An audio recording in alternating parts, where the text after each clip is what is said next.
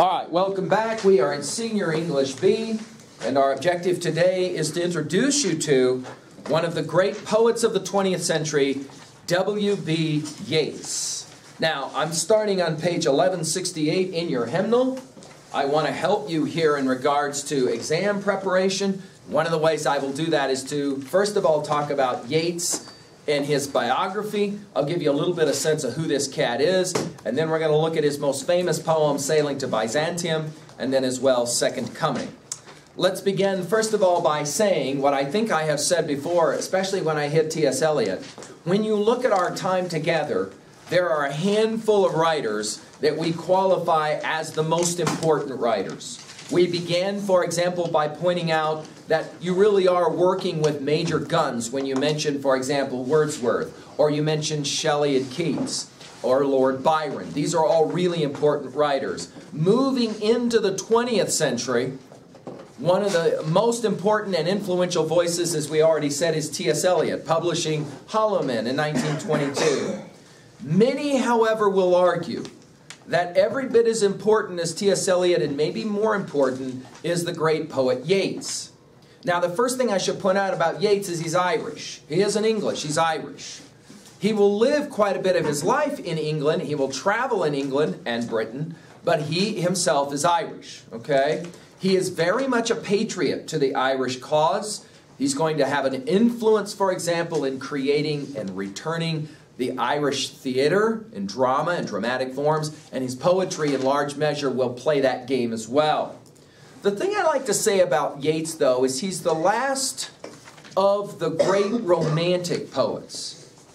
By the time Yeats is writing, he's pretty much the back end of the romantic tradition that we started with with Wordsworth, Byron Shelley, and Keats.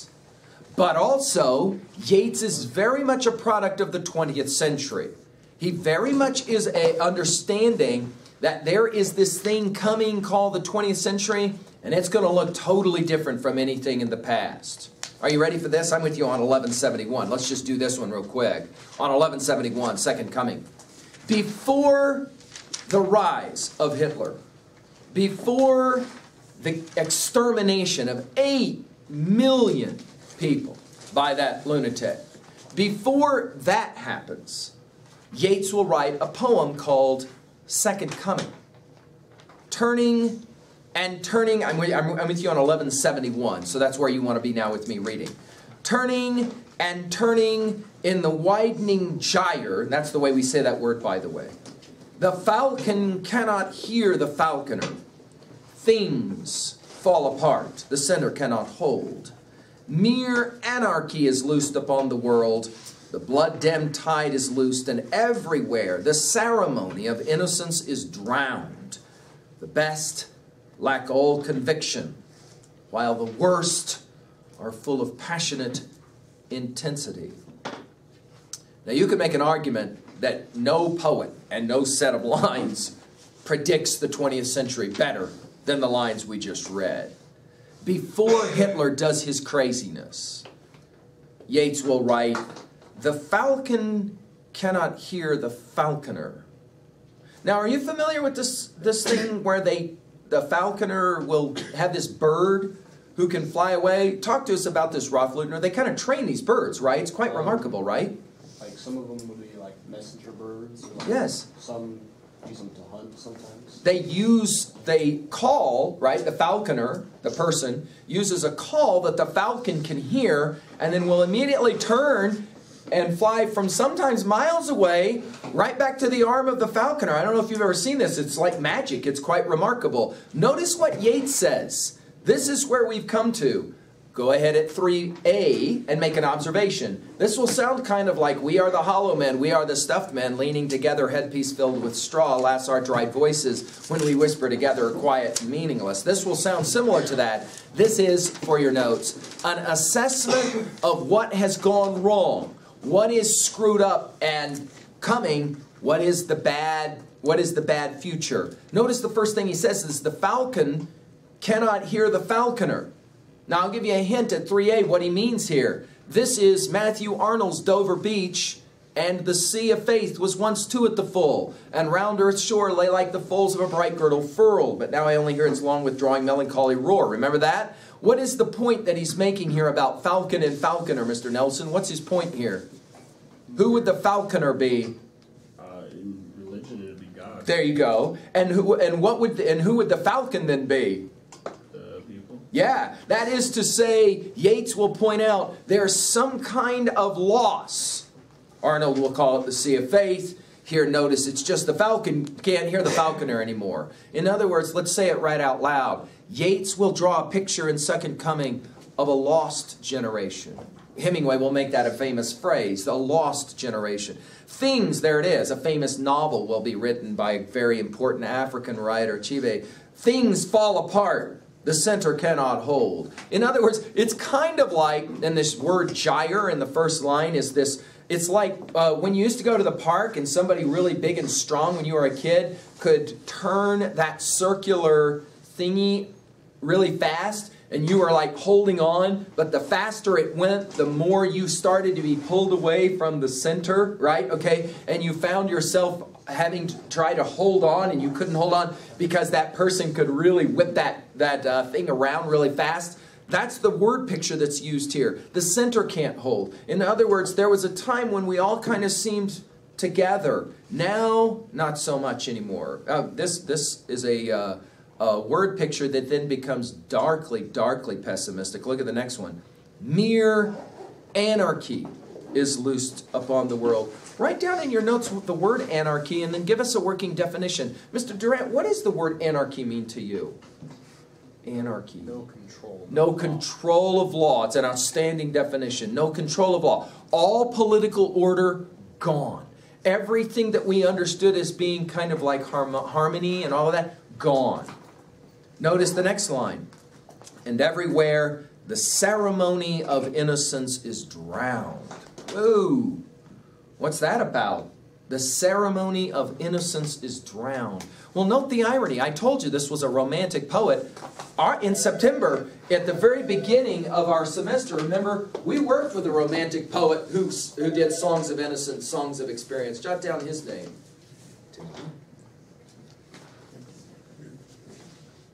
Oh, you bet. Uh, Miss Evelyn, apparently they've excused you from the front office. You'll be able to finish, however, uh, online, so no worries. Do you remember his name? Songs of Innocence, Songs of Experience? Who am I talking about? Who's the great poet here who talks about the loss of innocence? Starts with a B, doesn't it? Who was it? Not Byron. Blake, that's right. Good old Blake, remember? So Blake writes songs of innocence, songs of experience, tiger, tiger, burning bright in the forest of the night. He also wrote remember, little lamb, who made thee? Dost thou know who made thee? Remember his comparison between the lamb and the tiger. Which one's innocent? The lamb is innocent. The tiger, of course, uh, uh, yeah, not so innocent. He's a killing machine, right? Notice what Yeats just said. The ceremony of innocence drowned. Whoa. Blood tide, blood dimmed tide is loosed. There's, in other words, there's going to be so much killing that innocence itself is drowned. To finish, reminding us that it was, you'll remember, um, um, uh, right at the beginning of the English part of the contest, right, that Chamberlain will come back from his conversation with a guy named Adolf Hitler and say, Don't worry, he's, he's to be trusted. Take a look at what this line says. The best lack all conviction, while the worst are full of passionate intensity. Here, immediately, we think of T.S. Eliot's Hollow Men, don't we? Remember that Kurtz line right at the beginning? Master Kurtz, he dead. Remember, Kurtz is a violent, full of passionate intensity. What about the good people? Well, they lack what? What's the word? They lack what? What does that mean? They lack conviction. If you lack conviction, what does that mean? They have no will. You don't care. That's right. You have no will. So the good people no longer want to fight. The bad people want to run the show. Again, he writes this poem before the Second World War and the horrific uh, stuff of, of Adolf Hitler. It's quite remarkable. Surely some revelation is at hand, he says. Surely the second coming is at hand. The second coming, hardly are those words out when a vast image out of Spiritus Mundi troubles my sight. Somewhere in the sands of the desert, a shape with lion body and head of a man, a gaze blank and pitiless as the sun is moving its slow thighs, while all about it reel shadows of the indigent desert birds. The darkness drops again, but now I know that 20 centuries of stony sleep were vexed to nightmare by a rocking cradle. And what rough beast, its hour come round at last, slouches towards Bethlehem to be born. Boy, does it tell you something, Mr. Brown, that in the second stanza, you have as much on the right-hand side in the form of notes as you have of the poet itself. Do you see that, Miss Keller? In other words, whoa, this is some confusing poetry, made easier if I tell you a bit of biography. Yeats was very interested in what happens after you die. That is to say, afterlife. Now, there's kind of two views, of, well, I guess there's three views of what happens after you die. One view is that nothing happens. You're basically like the dog rover, you're dead all over. That's the end of it. Okay. But if you're talking about afterlife, what we sometimes call eschatology, the study of what happens after you die, ostensibly that argument breaks up into two parts. There's two, there's two answers to what happens after you die in the history of the world. One answer is what we call a linear view. That is to say, you are born, you live, you die, and that's it. And then after that experience, there's some kind of reward or punishment, heaven, hell, whatever, uh, that happens. That's a linear view. It's a one ticket to ride idea, okay? The second view is what we call a cyclical view. Cycles, circles. That is to say, you live, you die, but then you get to do it all over again. You reincarnate. That is to say, you come back and do it all over again. The soul doesn't die, but it comes back to re inhabit another body or some kind of living or non living object. That notion of reincarnation, right, is then often referred to as transmigration. In other words, your soul migrates. It goes into a body, then it goes out of a body. Then it goes into a body, then it goes out of the body. Okay? Now let's point out that in the history of the world, there, the, the, these two answers, the transmigratory or the reincarnative view is a far more popular view. I mean, it's a much more ancient view and it's been around for a really long time.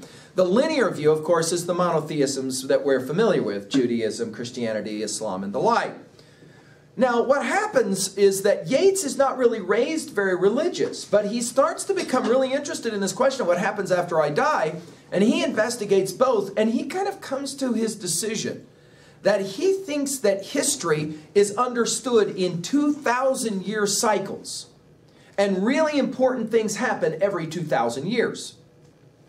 And he begins to believe that there's this notion that everything is kind of cyclical, that civilization works for a while and then it kind of breaks down, and then you got to have new civilizations that kind of take their place. And if you'll study that timeline we started with at the beginning of our year, right? Rome is now just a place where you go take pictures. At one point, it ruled the world, right? See kind of how that works. So he kind of began to study history in this way. He believed that the reincarnated view for him was a more hopeful view. That is to say, even if you screw it up big time, you always get to come back and do it over and over and over so that you at least try and learn something each trip, that kind of thing. That's the reincarnated view, all right? Now, when you're looking at Second Coming, he's going to be playing the game of this 2,000 year cycle thing.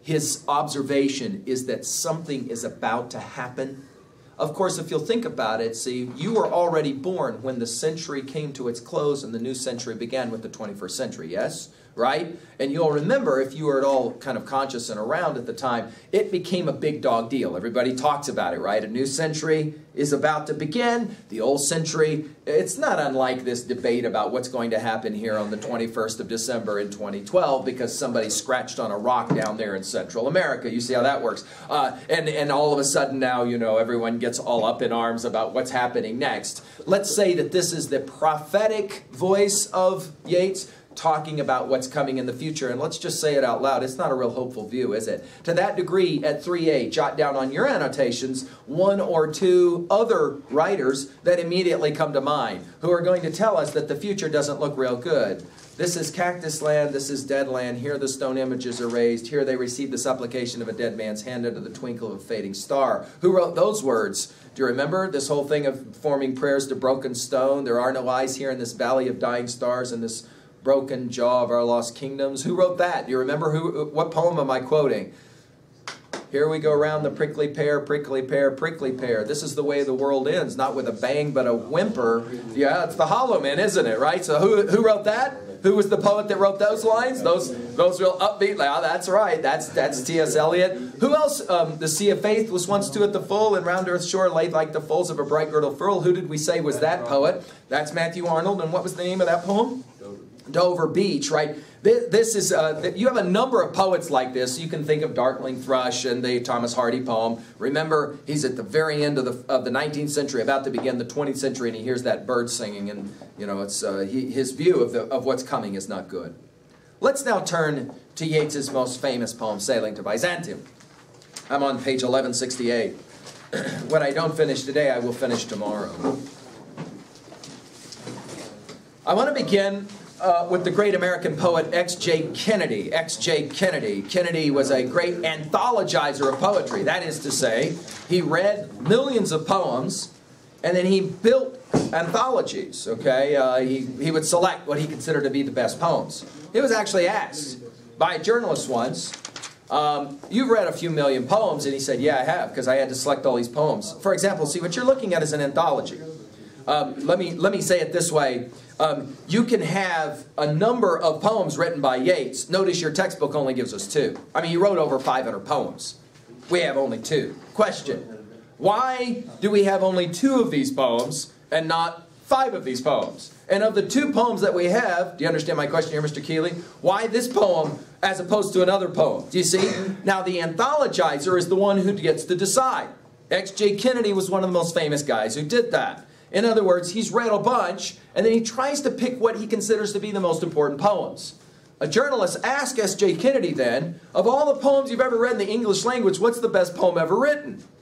Now, he thought he had stomped a guy like X.J. Kennedy. In other words, he thought he was going to hear something like, well, that all depends on what kind of poem, blah, blah, blah. Kennedy didn't even bat an eye. And he came back immediately and said, the greatest poem in the English language is W.B. Yeats' Sailing to Byzantium. Bam which sent a number of us who teach this stuff for a living to go back and look one more time at this poem. Because when Kennedy says this greatest poem written in the English language, uh, it, it, you know, you know what I'm saying? He's, he's listened to a poem or two, I guess is what I'm saying. So the guy's got some right to be able to say, yeah, of all the poems I've ever read, that's probably the best one I've ever read. Well, let's take a look at it and see, okay? Uh, uh, for some of you now, you're going to say, well, I don't know. You know, we've done a few poems since September. Let's take a look now at this one and see what we think. Sailing to Byzantium. We'll read it, then we'll converse about it, all right? So that way we'll exegete, just like we've always done. I'm with you on 1168. Read it with me. Sailing to Byzantium. that is no country for old men the young in one another's arms, the birds in the trees, those dying generations at their song. The salmon falls, the mackerel crowded seas, fish, flesh, or fowl, commend all summer long. Whatever is begotten, born, and dies. Caught in that sensual music, all neglect, monuments of unaging intellect. An aged man is but a paltry thing, a tattered coat upon a stick, unless soul clap its hands and sing, and louder sing for every tatter in its mortal dress. Nor is there singing school, but studying monuments of its own magnificence. And therefore I have sailed the seas and come to the holy city of Byzantium.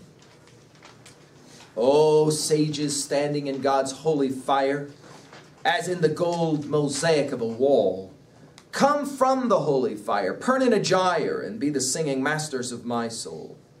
Consume my heart away, sick with desire, and fastened to a dying animal, it knows not what it is, and gather me into the artifice of eternity. Once out of nature, I shall never take my bodily form from any natural thing, but such a form as Grecian goldsmiths make of hammered gold and gold enameling, to keep a drowsy emperor awake. or set upon a golden bough to sing to lords and ladies of Byzantium of what is past, or passing, or to come.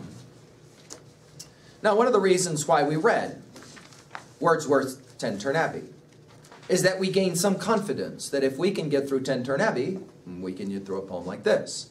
One of the reasons why we read Keats's Ode on a Grecian Urn. Beauty is truth, truth, beauty. That's all you know on earth and all you need to know. You'll maybe recall the lines. One of the reasons why we worked through such a difficult and esoteric poem is so we can read a poem like this. And I could go on, right? I could go on. In other words, we've been reading since September to get ready to read Sailing to Byzantium and to be able to have some sense of what it is that we're working with. Well, let's begin our exegesis process. Let's begin, first of all, though, and this may surprise one or two of you, we're going to begin at 2b rhetoric. Not what the poet says, but how the poet says it. And we're going to talk about what kind of poem this is. And I'm, not, I'm going to see if you can write down, or if you've done your homework already, you already wrote it down, what kind of poem is this? Don't say it, write it. And I'll give you a couple of hints along the way. This is a poem where you have a person speaking with an imagined audience, not unlike the poem that begins at little profits that an idle king by this still hearth among these barren crags matched with an aged wife. Or, not unlike, the wind set in early tonight. It tore this, the treetops down for spite. Not unlike, what's the one? This grew, I gave commands. Then all smiles stop together. There she stands as if alive. Remember? All three of those poems, I mentioned them in order as Tennyson's Ulysses, right? Of course, who are the other two written by? Do you remember? Robert Browning, Porphyria's Lover, and Last Duchess. All three of those poems, I could add one more in Matthew Arnold's Dover Beach, Come to the Window, Sweet as the Night Air, where you have an individual speaking, and then there's some kind of imagined audience, and some of us are saying, why can't I remember that word? It is a dramatic monologue. Very good. Let's write it down. The first thing we need to say about this poem is it's dramatic monologue. Dude, if you don't understand this, this poem is virtually inaccessible for you. Well, now wait a minute. About any dramatic monologue, we ask two questions. Who's the speaker and who's the speaker speaking to, or what's the context, right? So, for example, in Last Duchess, you have a, a duke, a 700-year-old name, he said. He's a big shot. And he's talking about a picture of his last wife. He puts aside the curtain for only certain people. And we come to find out by the end of the poem, he's actually looking for his next wife. He's trying to impress the messenger who's been sent from the family of the girl he's about to marry, okay, or hopefully marry, all right? Of course, Porphyria's lover is a little more disturbing. We have the killer speaking about what the evening went like, and he actually is sitting there with Porphyria on his shoulder, right? By the end of the poem. Oh, don't worry, God hasn't said a word about what I've done. That is strangling my girlfriend to death. Now, here, we have to ask a question Who is the speaker of the poem? That is no country for old men, the young in one another's arms, the birds in the trees. And therefore I have sailed the seas and come to the holy city of Byzantium. Who is the speaker of the poem? Well, let me give you an insight here that will help you. Two things. One, the speaker is old. An aged man is but a paltry thing, lines we'll get to in a moment. He's old. Two, and this is really important, it doesn't make any sense. The poem makes no sense. The speaker of the poem is in a boat, a small boat. He's alone. He is sailing away from the land. He looks back over his shoulder, speaking to you, and he says about that land he's sailing away from, that is no country for old men. Well, if it's not a country for old men, who's it a country for? Look at the next line. Well, when is the last time you saw a beer commercial where you see these really old, flabby, fat people, old, disgusting people drinking beer together? See this? No. What's a beer commercial fundamentally? Uh, it's not old people. It's what? The young. Look at it next. In one another's arms. The birds in the trees those dying generations at their song. So you have an old man in a boat sailing away, and as he's about to leave, the land is almost out of sight, he says something about where he once was. That is no country for old men. The title of the poem is Sailing to Byzantium. Which takes us to the next important observation. What is a Byzantium and why should I care?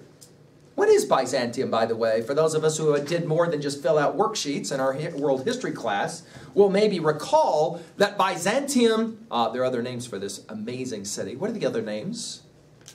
Constantinople, right? The great city of Constantine, as well as today Istanbul, yes, the great city of shopping. One of the greatest shopping markets in the entire world is in Istanbul. Pretty much anything you want you can find there. Some of it, of course, illegal, but nonetheless, it, it can be found in Istanbul. The great city of Byzantium.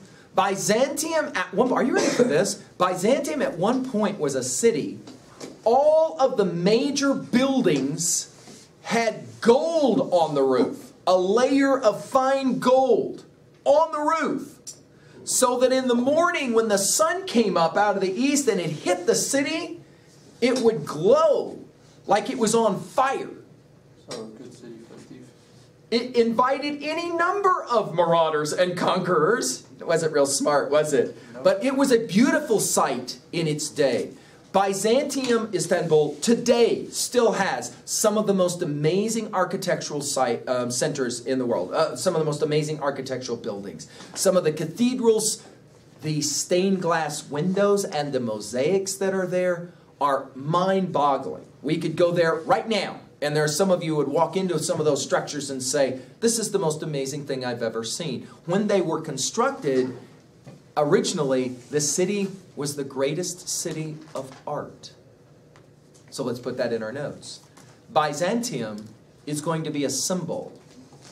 A symbol of what? And therefore I have sailed the seas and come to the holy city of Byzantium. Byzantium will serve as a symbol for what? Like afterlife, like heaven maybe? Perfection perfection. We could call it heaven. Absolutely right. Well done, Mr. Chubis.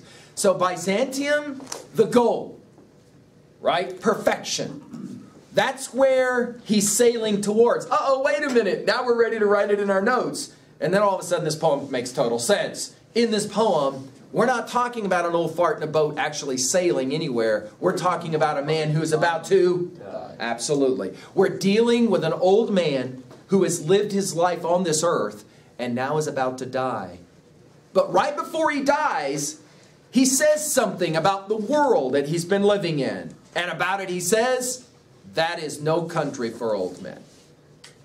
Well, who's it for then? The young in one another's arms, the birds in the trees, those dying generations at their song. I remember years ago, I think I shared with you, coming to this community for the first time and making the observation of how ironic it was that in one building, the most ancient of our community are there waiting to die. Directly across the street, the most young, dynamic. Isn't that ironic? So that we can look out a window and see them in their building dying. That's what that structure is across the street and they can look out their window at either the middle school or the high school and remember what it once was. The world is a place not for the old, he says, but for the young. Even though the young are dying, they just don't know it. Well, when we come back tomorrow, we will pick up with the text sailing to Byzantium. Hey, how about this? Do yourself a favor and actually try and do the annotation of sailing to Byzantium on your own. So that when you show up tomorrow to class, it's a crazy concept, I know, Mr. Uh, then I will be able to speak to you about a text that you actually have given some energy and time to. I'm, I'm not, you know, demanding, I think, too great of an extreme position. Maybe I am. Thank you.